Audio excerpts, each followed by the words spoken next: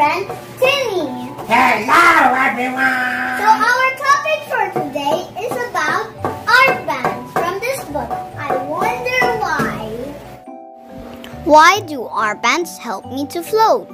When you blow up your armbands, you push lots of air inside them. Air is much lighter than water, so it helps you to float.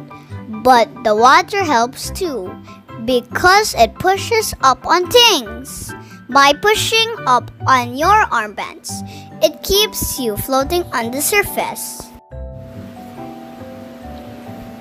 It is easier to float in salty seawater than in fresh water. The Dead Sea in the Middle East is the world's saltiest sea. Swimmers can't sink in it, even without armbands. Experiment with floating and sinking by finding five things that are light enough to float and five that sink because they are too heavy. Divers don't want to float. To help them sink, they wear a belt with heavy weights on it. Not something you should try.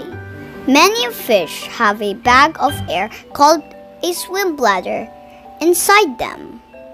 It works a bit like an armband.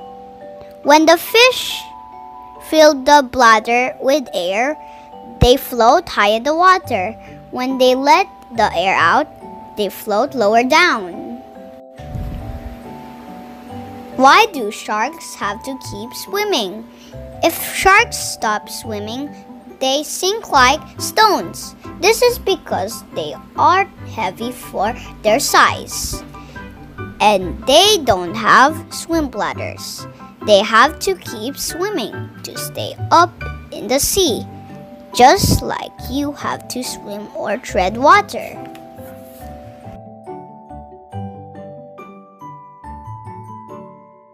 It's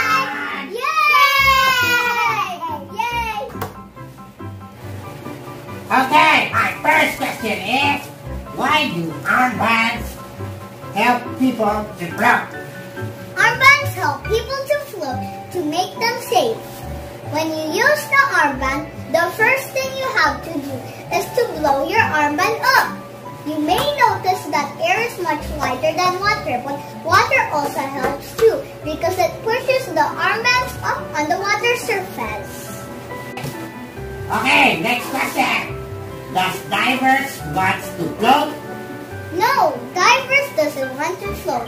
They wear a heavy belt with weights in order to sink, to explore underneath the water.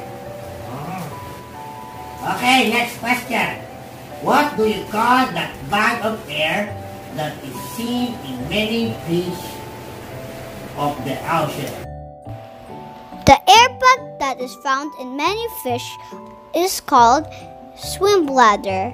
When the fish fill their swim bladder with air, they float high in water. When they let the air out, they float lower. Okay. Okay, next question. What water is easier to float? It is easier to float in the salty water than in fresh water. One example is the Dead Sea, which is found in Middle East. You can swim there without using armbands because you will not sink. Mm. Okay, my last question. Why do sharks don't stop swimming? Sharks don't stop swimming because they'll sink like stones and they are swimming to stay up on the water surface.